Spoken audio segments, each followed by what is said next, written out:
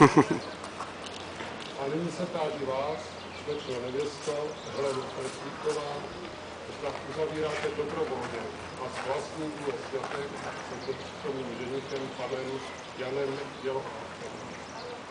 Děkuji. Vzhledem k tomu, že jste splnili všechny podmínky, které pro manželství stanoví platný český právní řád, prohlašuji vaše manželství za právoplatně uzavřené. Důkaz toho vás požádám, abyste si vyměnili službu testem.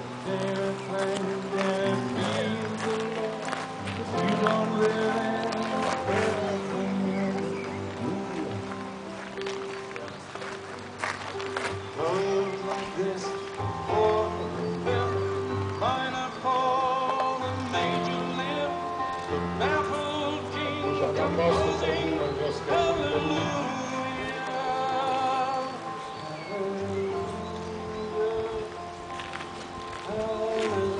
Da, podepsat podací protokol.